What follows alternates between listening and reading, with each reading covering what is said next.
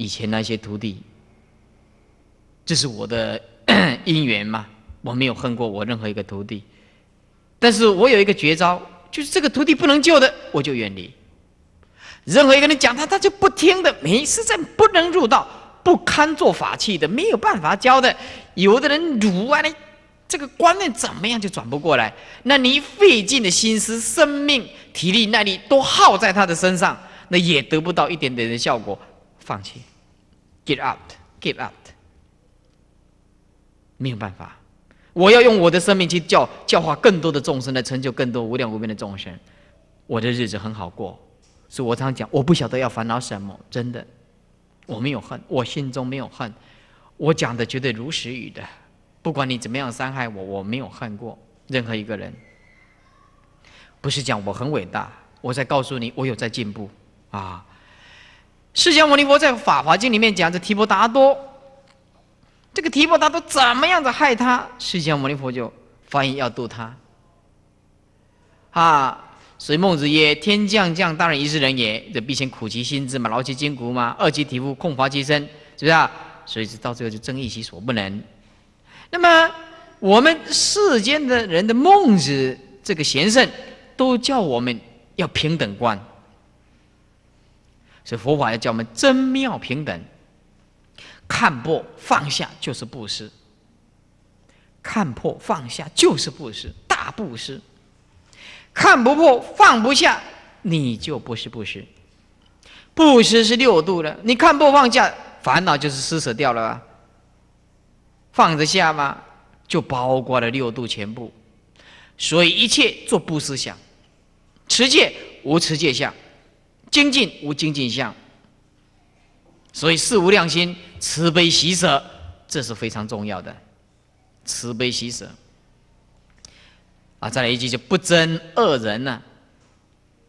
我们要知道善人恶人，我们必须一定要亲近善人，要远离恶人。我们要虚空之量来容纳一切的众生。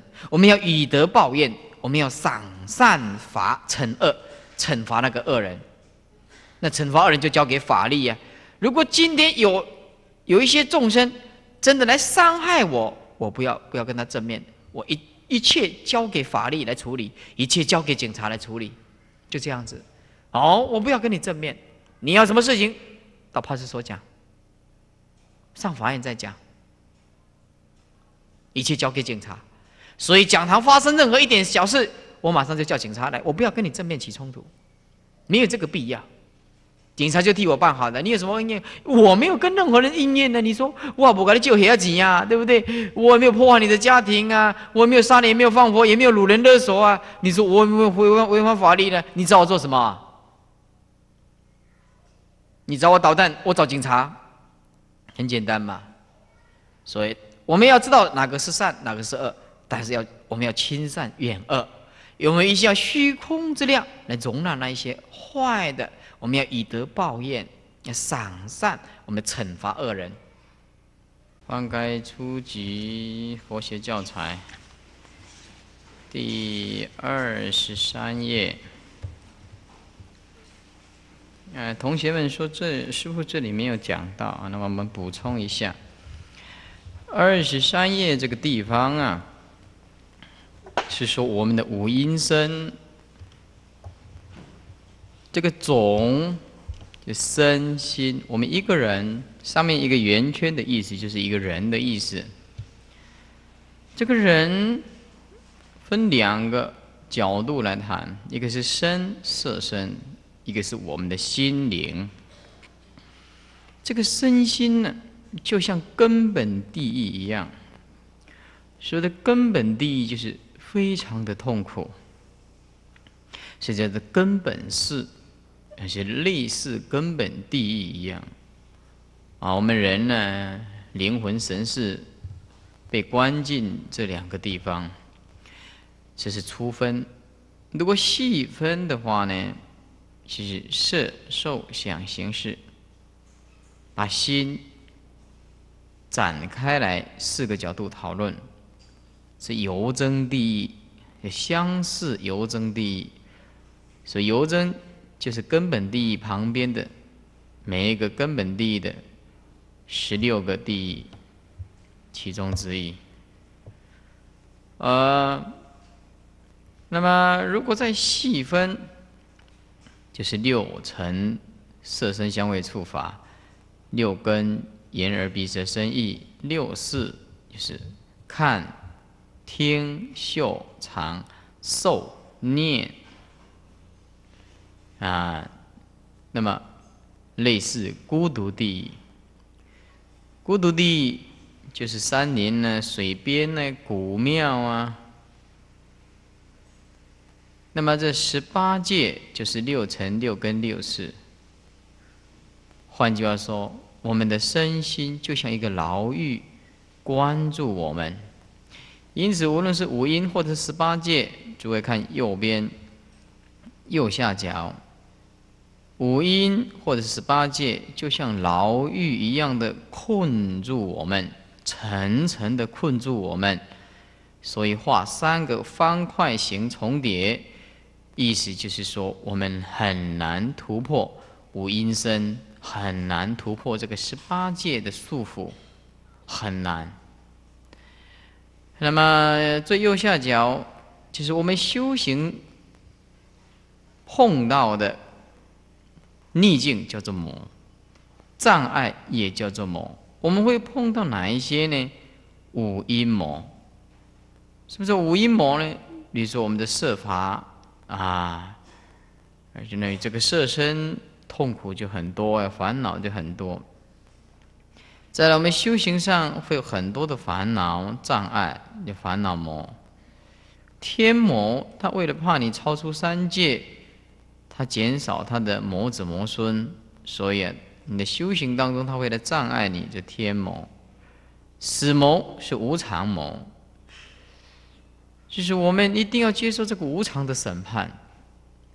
所以人家说，师傅，你告诉我们一个世间上唯一的真理，而使我们在日常生活当中得以受用无尽的真理，麻烦你用最简单的啊来描述。我说，用。无常是永恒的真理，无常是永恒的真理。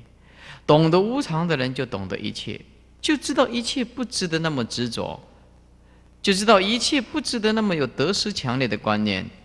这个世界，你所爱好的完全是妄想，你所追逐的是追逐你自己的福报，因为你来这个人世间呢，啊，你本来就有带一些福报来。你造的恶业也是造你自己的恶业，因为一切也也是无常，所以无常加上空的思想，那么就是叫做不昧因果。不昧因果，那么因为空的思想是超越因果，可是又不能落入断灭，又必须接受无常的因果定律，因为因果是无常法，有增有减，那就是无常嘛，是吧？那么活菩萨对于因果又超越。为什么？因为他不受因果的支配啊。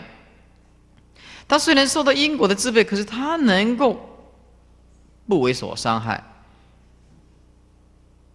比如说我们的果报啊，要受到很多的百般的痛苦。那么这些苦呢，对佛来讲的话，如梦幻泡影，有受跟没有受是没有什么两样。是在经典里面讲，《大智度》里面有描述佛的果报。不昧因果，如风吹光啊，如刀割水，了无痕迹啊。如风吹这个光，这光你风怎么吹也没有用啊。如刀割水，你这个刀子割这个水平面也没有什么作用啊。啊，你一样还你那一刀，那一刀对佛来讲没有什么作用的。你这如风吹光啊，如刀割水呀，还是不昧因果啊？那么这个就是今天的考试。这个地方没讲到啊，没讲到。好，那么我们再来，诸位就就是要看第六了，是吧？第六，这个第六还没讲完啊，诸位翻开十五页，十五页，十五页就第六觉知，是我们贫苦是多怨呐啊，寒结恶缘。这菩萨布施等念冤亲，不念旧恶，不憎恶人。那么这个意思是很容易了解，但是我们在修行的过程当中，啊，需要真的下功夫。那么忍辱这一方面是佛所赞叹的。那么换句话说，我们懂得这个经典的教义跟教理，但是如果不懂得怎么样在忍辱下一点功夫，那我们也是了不得力。也因此，我们需要的是真实的功夫。忍辱是佛所赞叹的，因为在这个在这个顺利恶境当中，你不憎恶人，就是不去恨这个坏人，还是我们平常也会碰到一些不止坏人这一方面的逆境，所以我们也必须在种种的忍耐、种种的角度，我们要好好的下一番功夫。那么在佛教来讲，就对于人。来忍辱的这个叫做生忍啊，众生忍耐，就是要忍受这些众生。呃，行菩萨道的人对这个忍如果不了解，那没有办法入道。就忍辱多福，十方三世一切佛能够入道，正因为从忍辱下手。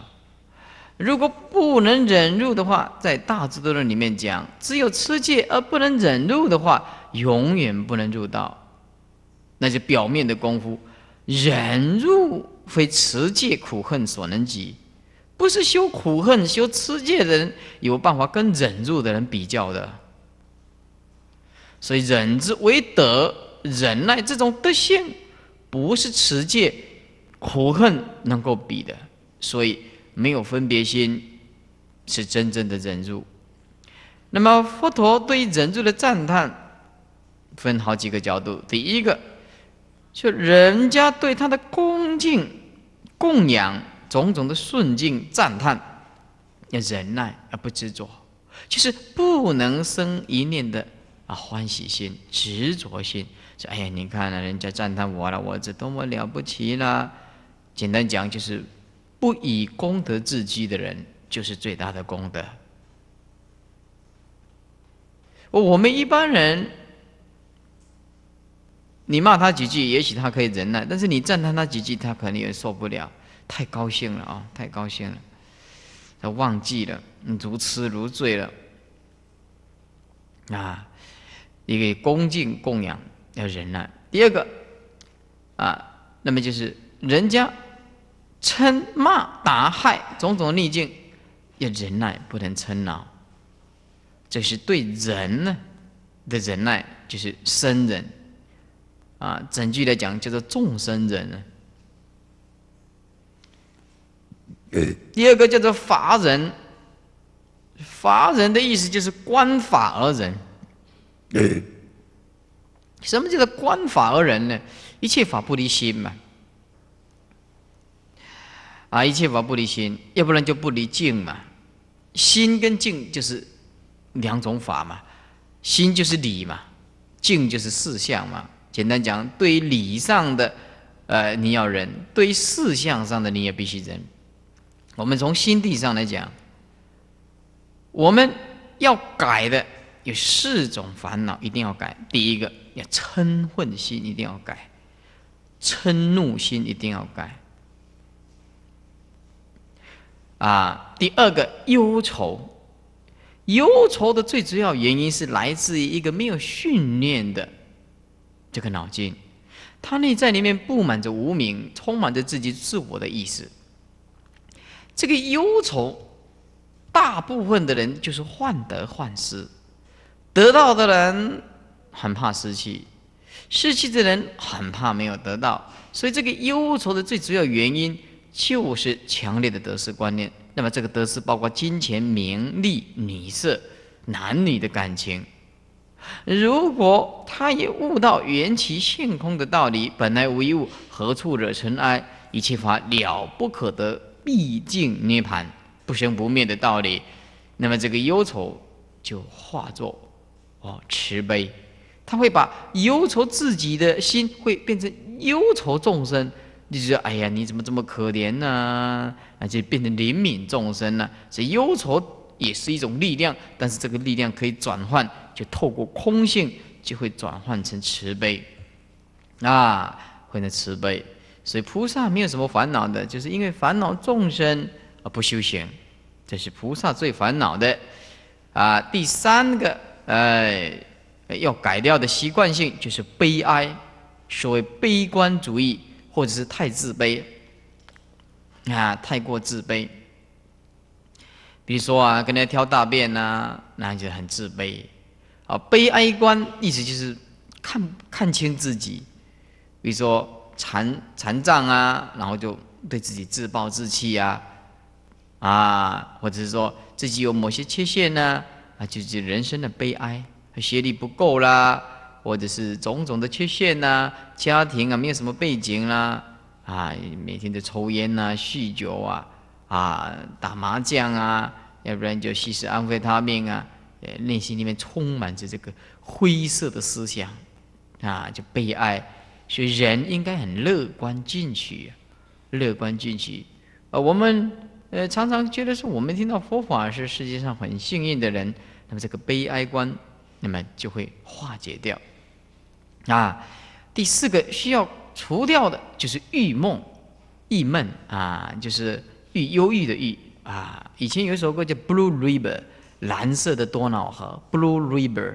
那么意思就是说，我们人内在里面不要充满着烦闷啊、闷纳闷的时候，呃，我们众生。大部分的人就是不觉悟的人，他这个烦闷的时间超过快乐的时间太长。那么快乐的时间追求到最后，他也会烦闷，因为他没有主体，没有主要的目标。人或者没有没有目标，就是一直拼命在追求。你不相信？你好好的观察一个人，他当他做的时候，他会觉得很空虚，他会很无聊。他既不觉悟人生，也不晓得人生的方向在哪里，然后他就要想尽办法。我坐着，嗯，到日月潭走一走啊，你不到泰国走一走，嗯，开个 party 也不错，嗯，他总不会说我来念念佛啊，解烦恼啊，啊，然后他就是嗯，来来去打开 XO 喝一杯，嗯，要不然就嗯，我去这个头发。今天烫这个头发，反正现在闲着没事。你注意看看众生，他闲着没事，他是一定要找事情来做。那找这个事情来做，做完了就说烦恼。那高深大德不一样，你叫他坐，坐在那边他就不动，他心不动，因为他不晓得要追求什么。就善体无声的人，他不会烦闷的。善于体会无声一切法不可得。你你追求什么东西呢？你所能掌握的东西。那也就是生命的真理，啊！我爱真理，这是我唯一继续活下去的理由。否则你活着为什么？你为什么要活？我问你，你活着为谁？你忙什么？啊，迷迷糊糊，不晓得，不晓得。如果这个真理，你没你没内在没有拥有真理，你说你活什么？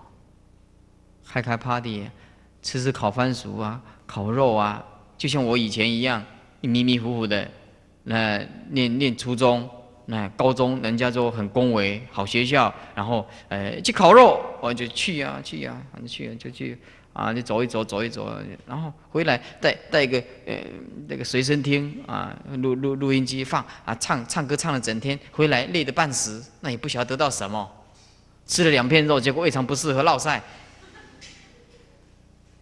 然后跟女孩子，跟女孩子谈了老半天，他也不给你碰一下，对不对？你还不敢，人家那个不他不想要搞什么东西，整天就走一走，走一走，哎，无聊。现在现在无聊派真的是，你就不晓得在追求什么东西，就想起来真的很可怜，很可怜。以前这就迷迷糊糊，啊，现在知道了，说我爱真理，真理是我唯一是继续活下去的理由。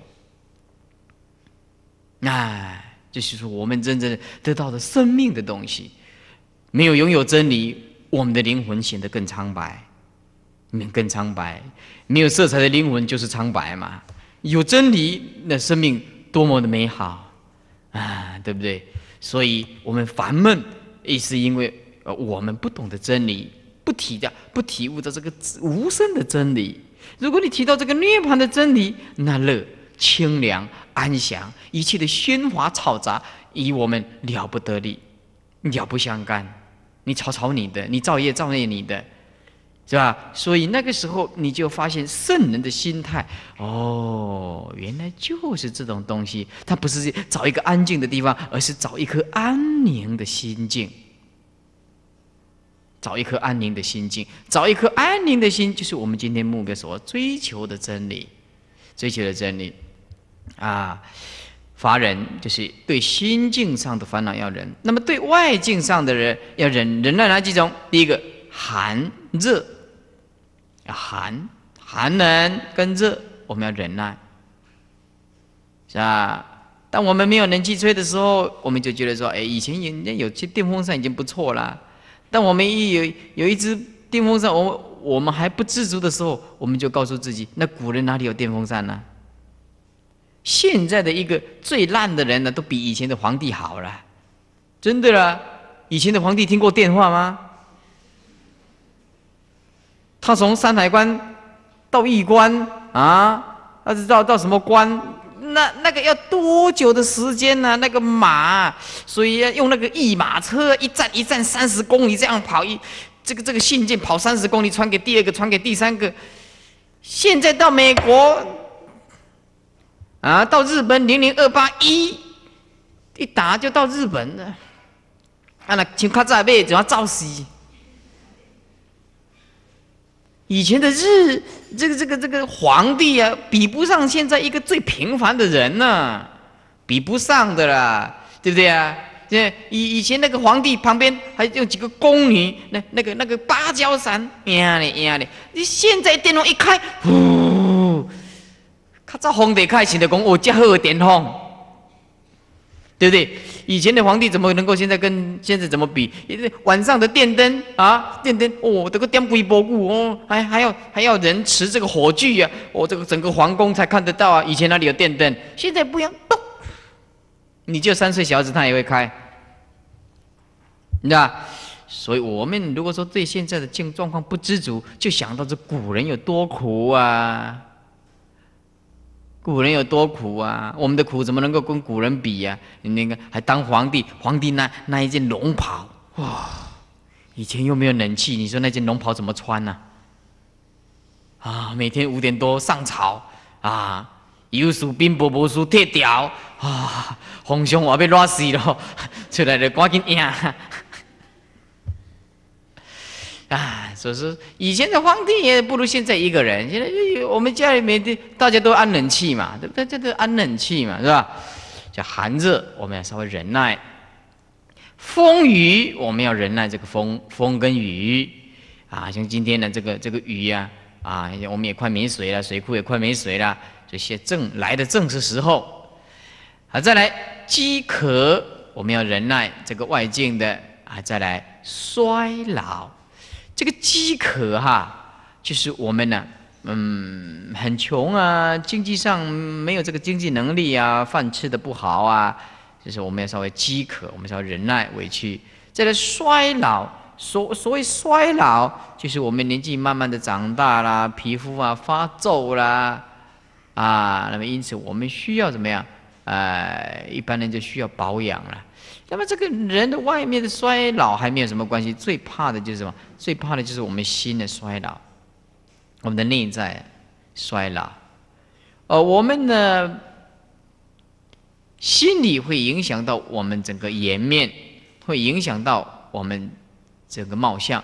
所以，一个内在里面健康的人，有修的高深大德，他虽然年纪很大，但是他会看起来非常的年轻。为什么？他内心里面的充满了一种智慧，充满着智慧，充满着欢喜，所以他虽然四十岁、五十岁、六十岁啊，你怎么看都看不出来他是六十岁的人，六十岁怎么看都看不出来。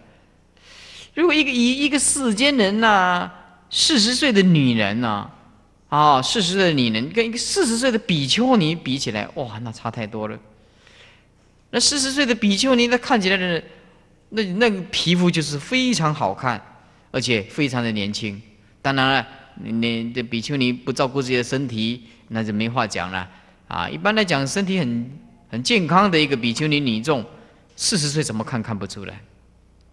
四十岁的男众啊，跟四十岁的比丘啊，你不相信试试看？你站在我的旁边看看，你老还是我老？我这个不讲，你知道我四十吗？我讲实在话的吗？你怎么知道我四十岁啊？哎，是这个世间人呢，呃，这个脸色看起来就会比较成熟啊，但是老化。这修行人不一样，修行的内在里面充满着欢喜呀、智慧啊，他才不需要烦恼那个东西。他大不了分开，大不了没有，哦，那你没有得失观念，对不对？你跟我合不来，对不起。或是说我跟你有什么瓜葛，那么就尊重嘛。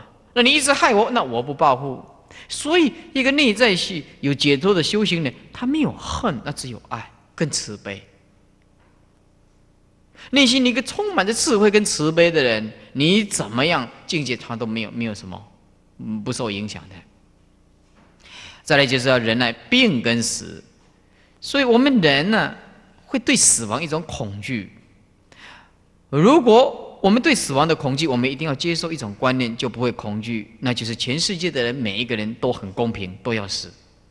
所以你一定要接受全世界每一个人都要死的观念，那么你对死亡的恐惧就会减减低，谁都没有例外。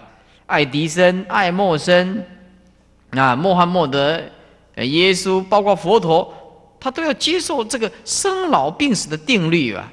所以不生不死，那唯有悟到空性的法身。所以。恐惧死亡是不对的，要恐惧这个生，你来生就一定要死，啊，所以忍而不知走。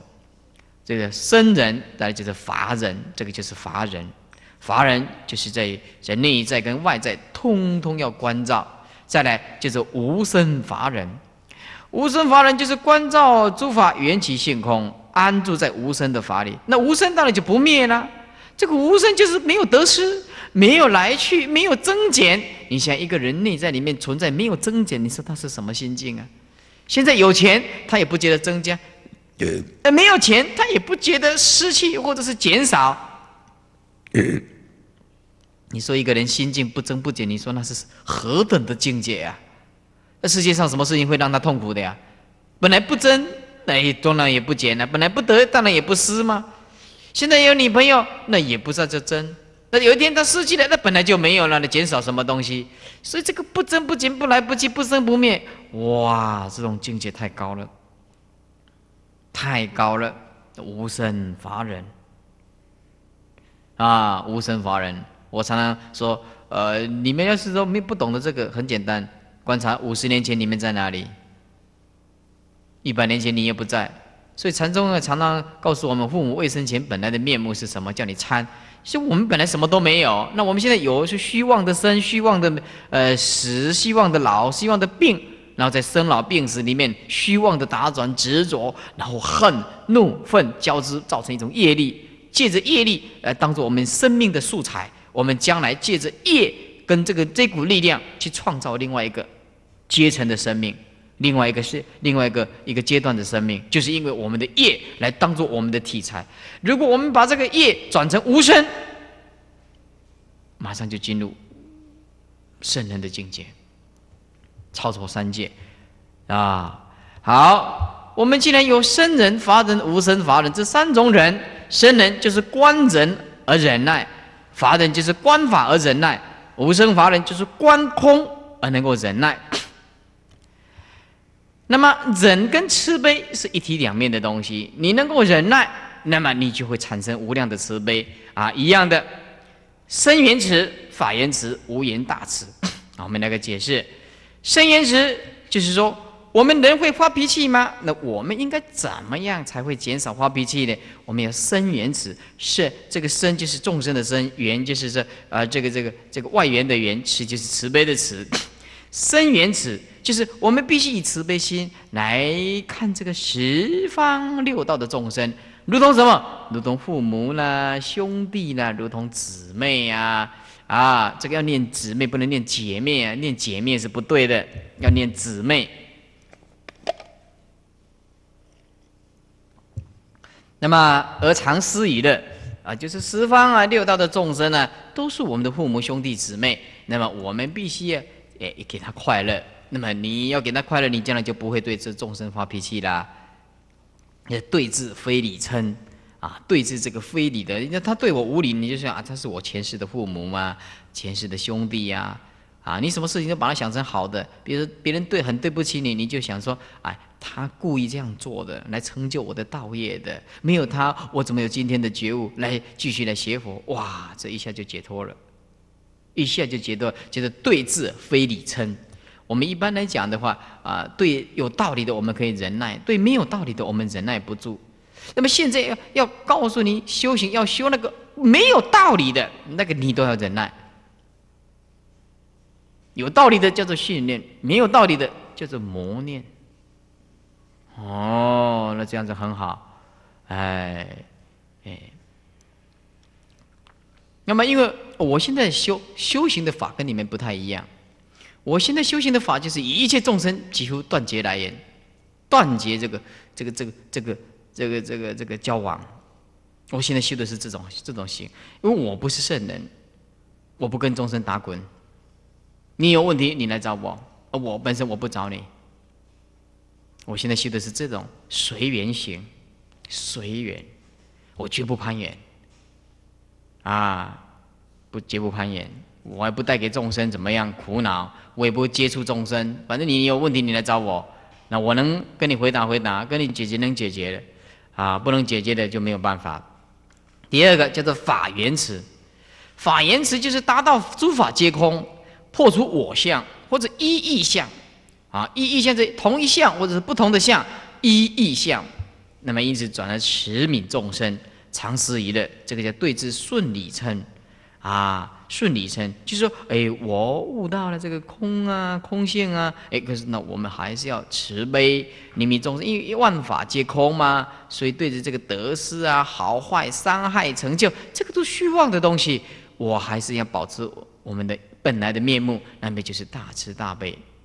既然破除我相啊，以及种种的相，达到诸法皆空啊，那么就是法缘慈 啊，就对治顺理称啊，顺利啊，顺利就是这个道理啊，啊，很符合你啦，你懂得道理啦，但是你还是要对峙一下啊，免得落入啊啊这个玩玩空里面，无言辞。佛是不住有为，或者不住无为，也不住过去、现在、未来的三际。为什么佛知道诸缘不实？只要缘就是条件构成的这个人生跟宇宙都不是实在的，是颠倒希望的，所以无所缘。而以慈悲心能够普延一切众生啊，使护以乐之意，就是说保护众生的快乐这个利益。那么对着这个参会呀。啊，我们最重要就是不能争送，争送就是互相啊争送。碰到没有办法解决的误会、毁谤、逆境、顺境，只有一种办法可以解决，就是忍耐加上沉默。世世界上只有这两种美德可以解决世界上一切的纷争。以暴制暴，那是下下策。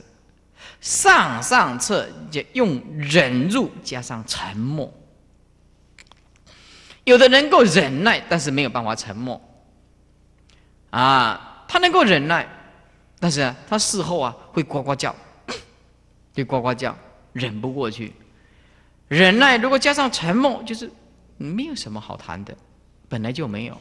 哇，这个人的境界就高了。那么对峙这个称谓啊，在《法华经》里面讲说，释迦牟尼佛说，因为提婆达多的缘故，所以提婆达多常常要害佛嘛，所以他让我六波罗蜜具足，他让我得到三十二相八十种好，乃至十八种不共的神通道力，成就正等正觉，广度众生，都是因为提婆达多善知识。你看释迦牟尼佛多伟大！这个一天到晚都要让释迦牟尼佛死的提婆达多，释迦牟尼佛竟然这样讲。那我们你看看，啊，《法华经》里面有一句话，我接着说，这句话蛮重要的，只有几二十个字而已。啊，这句话倒是修行的一个一个一个一个非常重要的句子。大慈悲为事，教事的事。我们用大慈悲来作为我们的教室，就是安住在这个地方，柔和忍入一，柔温和忍入来作为我们外表的衣服。再讲一遍呢，大慈悲为事，教室的是啊，柔和忍入衣，柔用柔和用忍入来作为我们的衣外衣，就是我们要穿着柔和，穿着忍入。诸法空为坐，坐就是加一个一点，然后一横啊一撇，坐啊，然后里面写一个坐啊，就是广啊啊广啊的这个盖盖头，然后啊里面加一个坐，不是加一个黄。那诸法空为坐，就是你以什么为坐呢？坐在哪里？坐在一切法皆空，就是无所住。才是真正的坐啊！除此为说法，除此安处这个处是啊，这个这个这个啊某某地方啊，除除此此就是啊彼此的慈为说法啊，安住在这个地方啊，来当做啊向一切众生说法，教他们要大慈悲为是，柔和忍辱为一，诸法空为坐。啊，那除此为说法，啊，来说这个法，就是你开始众生都必须不离这几个角度。华严经里面讲是一念嗔心起，百万障门开。这你起一念嗔恨心呢，你所有的障碍就起来。啊，所以偶益大师说，是出世间的事情，无不成于人呢，无不成于此人呢，啊。两个字：慈悲忍辱。世间法也好，处世间法也好，没有一件事情不是用这两两个角度可以完成的，那就是慈悲忍辱。那么我的境界不够啊，所以我现在所修的就是远离，远离这些这些众生呢，我不跟他打转，也不跟他打交道。什么什么生意人呐，高官显赫啦，我也不会去攀岩；有钱人呐，没有钱人，我也不会去攀岩。啊，这些残障病苦的，我也不会瞧不起他。哎，我现在就是安住我个人的生活，很认真看经典，认真用功持咒念佛，我一切随缘。我就是不攀岩，也不瞧不起别人，所以我一直保持我内在里面非常的安静，过着我出家人应该过的日子。啊，有的人是一直每天的追求，而我没有，我不晓得要追求什么。我既不缺少三餐呢，也不缺少一张床铺，那我再来不晓得缺少什么。所以对我内心里面，你里面来讲，我觉得我这个现在的年纪呀，悟到这个佛法，我活得非常超越，我活得非常安静，很知足，我活得非常的知足，我不晓得要烦恼什么，啊，我不晓得要烦恼什么。因为少欲无为嘛，身心就自在啊啊。第七觉悟，第七觉悟，翻过来是五页的地方是吧？呃，这是六页的地方。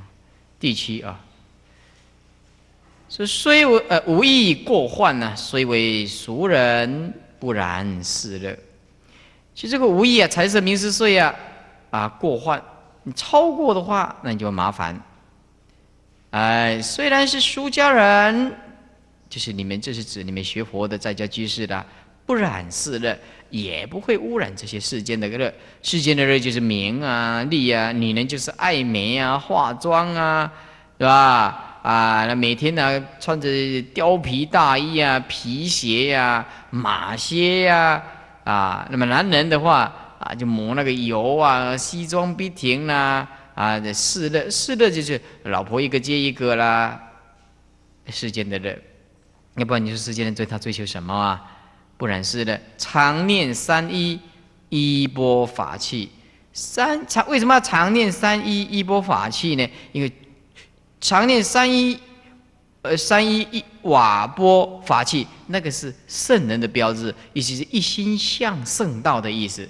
其实在家居士啊，常常念叨说：“哎呀，人家出家人要三一呀，啊，哎，瓦钵啊，法器啊，那么这个是将来啊，能够成就圣道，是不是？衣钵是圣贤的标志啊，啊，所以是常念三一啊，瓦钵。那自愿出家，守道清白，那是就将来有因缘，我们能够发个心，走出家的路线，守道清白。犯恨高言，慈悲一切。犯恨就是持戒清净啊，高言就超过一切的啊，这个世世俗啊啊，慈悲一切，慈悲一切众生。呃，这个无意过患呢，在儒家来讲，他也讲得很清楚。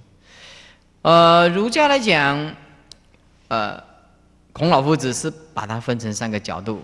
第一个说，少之时血气未定，戒之在色，就是年少的时候血气还没有很定，那么呃，怕的就染上女色这一关。年少之时血气未定，戒之在色。及其壮也，就是年纪稍微大一点呢，血气方刚，戒之在斗。就是年纪稍微大，就是呃少之时，就是二十岁左右啦。那么极其壮壮呢，大概就是是从二十岁一直到五十岁啊，这是壮年期呀，啊壮年期呀，戒之在斗，就这个时间最会斗殴了。斗殴就是打打杀杀啦，啊两句话的时候，你算老几呀？啊你没有探听看看呢？我这个脚头啊，啊动不动就要让人家死。说及其老也，血气既衰，戒之在德。等到年纪大了一点呢，因为身上没有钱，也没有人奉养，那么心就会得到贪，希望得到一点的血气既衰，戒之在德啊。那么呃，戒之在德，所以啊，色斗德，那就是儒家的思想。儒家的思想啊，儒家的思想三个。跟我们佛教讲，德就是财产嘛，啊，那么斗的话，就是我们佛家里面所所讲的这个贪嗔痴啊，啊，贪嗔痴啊，啊，那么啊，血气未定，戒之在色啊，佛教里面所讲的就是男女啦，所以因此啊，这色斗德，那差不多都是包括我们佛教的一切了。那么无意就色身相位处，啊。那么有的人讲财死名食睡啦，人为财死啊，鸟为死亡，啊，人为了财产而死啊，或者鸟啊为了吃的而死亡。你要是打开报纸啊，因为钱财的问题发生事情的啊，那太多了。那么色，这在印光大师里面讲啊。是色这一关呢，世间人呢，无一能够幸免，没有一个有办法躲过的。那么，那么他这个在印光大师里面呢，他就就叫我们观想，是说，呃，观想女人的不净之处，当做是一个毒蛇的头。就是我们男孩子说，如果没有办法断除这个这个男女的欲，就观观想说，那么那呃那个。呃，当我们男女在一起的时候，就观想那个是毒蛇的头。然后你你们要在在一起的时候说，哦，那个是毒蛇的头啊，啊，会咬人咬人呢，啊，那是呃，那么这样子慢慢的关照，这是印光大师教我们破除女色的一个方法。啊，好，那么再来就是说，呃，如果你不能吃仓鼠，那么最起码你不要杀生啊，在这个吃的方面呢。我们稍微节制一下。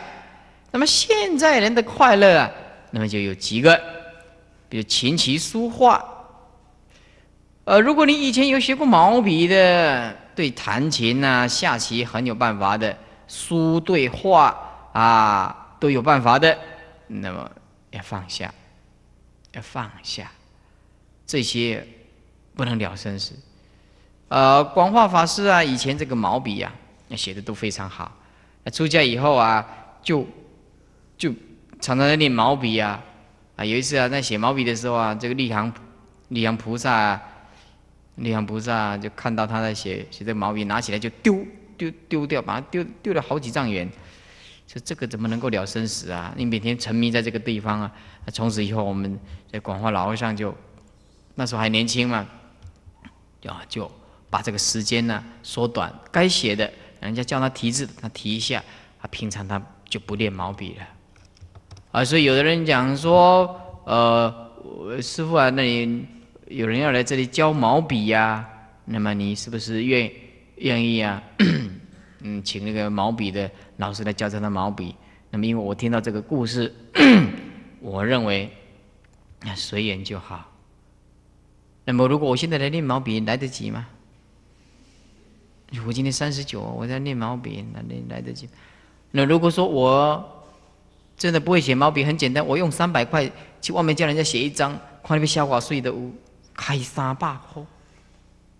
哦，比如说我们要祝人家往生极乐世界，就是驾鹤西归，上品上身，九品莲莲花花开见佛，死得其所。啊，哎，不晓得有没有人这样提啊？好了，你三百块。啊，三百块，他就会帮你写的很漂亮了。你还需要自己来练毛笔吗？对不对？那你以前写的漂亮的，就没话讲了。所以这个还是不要。再来要戒的，就烟酒赌博啊，这个这一定要戒的，非戒不行。哎，所以我们希望邪佛的难众，叫他不要抽烟，叫他不要抽烟。啊，希望你们这些男众们不要抽烟。邪佛的女众抽烟，那是真的太太可怕了。这女众抽烟，你像什么什么姿态啊？刚被垮几条啊！再来啊，就是电影跟电视。这个电视啊，电影要看情形。比如说，我们现在如果有教育方面的，哦，那么这当然没有话讲了。就是，看了它可以增加我们的见闻的。又是某些地方还是很值得的，很值得的啊！再来就运动田径，运动田径。上次有一个人送了我一样东西，我打开以后我很惊讶，他送什么？说送我什么呢？送我一双白色的运运动鞋，然后送我一件。短裤啊，然后送一件那个提议，你知道吗？提议就是请个吊嘎呢。你现在想象我慧理法师穿的这三个东西，你想象看看，还送了我一只羽毛球拍子。你你起码想象过我在拍羽毛球，啊，你跳来跳去，你看。伊伊伫外口来，伊若看到我咧拍羽毛球，讲，伊要来讲顶你师傅，啊，像安尼都无成师傅，哈，笑死人啊！尼讲送我这，因为听录音带听来讲师傅的身体不好，结果去买只运动器材，买只运动器材，啊，笑死人！出家人那有威仪啊，这怎么讲运动？啊，所以我们这个很保守的，你就是慢跑我也不敢呐，啊，慢跑我也不敢呐，走一走可以啊，比如说我们出去外面呢，走一走啊，绕个圈子啊，啊，对不对？你说慢慢跑，慢跑能看吗？哦，这个这个唱功很重视这个威仪的哦，我们稍微走路走快一点呢，唱功就就会警惕我们，修行人心平气和。不要心浮气躁，我都是一直很重视这个威仪。你走得快一点，这就不行。你知道？哎，那还那个哎，买那个录影带来看那个有氧舞蹈，啊，one more，two more，three more，啊，哎，就是这样。所以这个运动啊，田径啊，这个你们在家其实当然可以了啊，在其实当然可以。哎，我们出家人不行，这这这能看吗？我刚才为家行到遐一条路，安尼规路拢咧叫慧理法师，拢八卦，拢中八卦，而且是边那运动啊，这 啊，就是一样哈。你说我请下短裤，还信多讲？师阿弥陀佛，啊，我唔得，看我家己讲啊，娘，我要请技师。哦，豁你啊！呃，所以这个不适合啊。你你们在家居士当然运动大概是 no problem 啊，但是我可能没有办法。再就是打拳武术，打拳武术，啊，打拳武术。那么以前在呃这个这个嵩山少林寺，那大概可以，因为山上没有在家居士嘛，那都是出家人呐。那以前的出家人的武功，那是真是很厉害。那么现在的出家人呢，啊，也不能，都是在城市。那你不找人家，人家找你啊。那你在那边画个修修狗，没没秋西郎啊，所以这个打拳武术也尽可能。啊，不要，再就斗狗斗鸡，啊，我们呢有一个在家居士啊，啊，来问我一个问题，那这个问题我问大家，他说他养了一条狗啊，是很好的，啊，什么什么什么钱呐，哦，这个牧羊犬，那牧羊犬一直是很多钱呐，那么他呀，说为了哎赚钱。啊，那么这只是母狗啦，母狗，啊，母狗为了要生小孩，生了小狗啊，可以赚到钱，就把这只母狗啊，看去怕境啊呢，啊，那么他问师傅说，这样子是是不是有犯到什么啊？还是那你们的回答怎么样？你你认为这个是看的哥，看好几人家搞结婚，那你认为呢？啊，这个在佛教的力学里面讲不可以。啊，养狗啊，为了赚钱呢。